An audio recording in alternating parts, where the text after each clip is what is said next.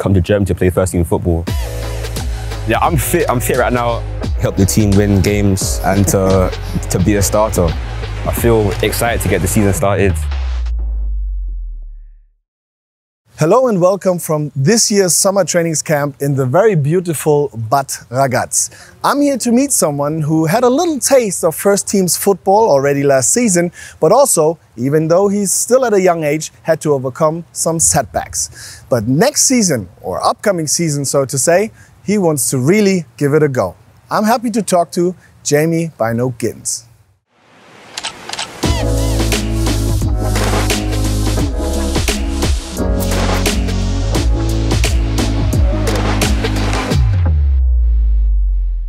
Jamie, first of all, congratulations to the Under 19 European Championship title. Thank you. Tell me something about your experience at the tournament. It was very good. Obviously, um, it was a long two weeks we were there for. Nice weather, very hot, um, but we won the tournament, so I enjoyed it a lot. I enjoyed it. After that, just a week off and then back to practice. How are you feeling? Uh, are you fit? Yeah, I'm fit. I'm fit right now. Um, I feel excited to get the season started. We got two games in pre-season Yeah. against two good, good, good teams, so I'm excited. Yeah. Very well.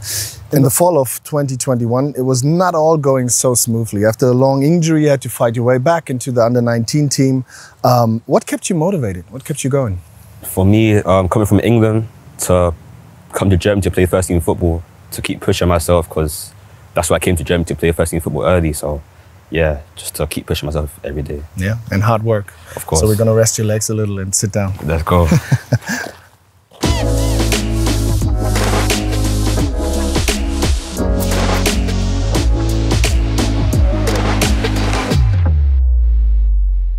So, for our under 19 team, you are an absolute key player, and you, you have proven that not just, but especially in those games for the youth league against Manchester or that final uh, for the German Championship.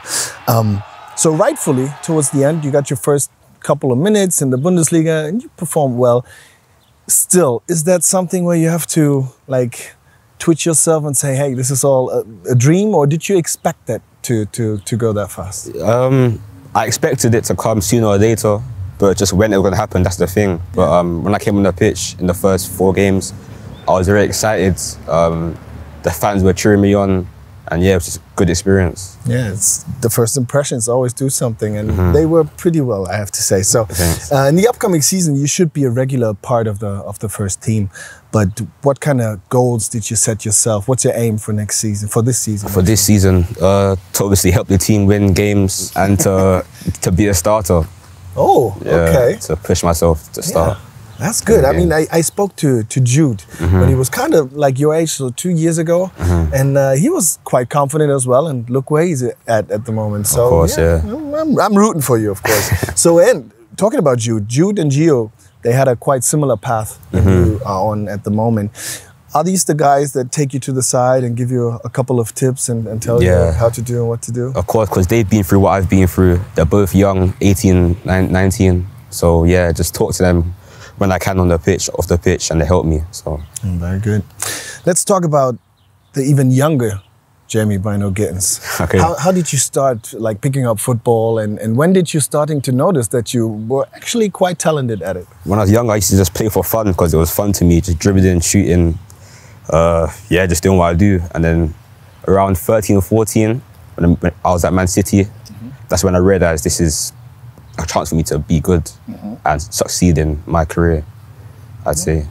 So we know a little bit about the Jamie on the pitch, but tell us something that we don't know about the Jamie off the pitch.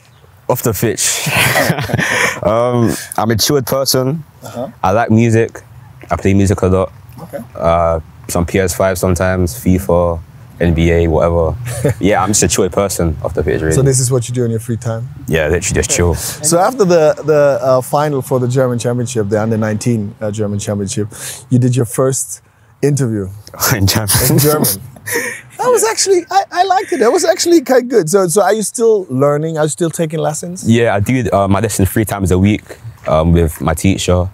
Um, yeah, the interview was it was okay. It the was first good. part was okay. Second yeah. part was not so good, but yeah, I think you you were misled on the on the question, yeah, but yeah, that, that was absolutely fine. Oh, I, I really loved it. So that means if we meet here again next preseason, mm -hmm.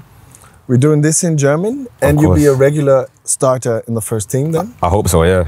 I wish you the best of luck for that. Thank you very much.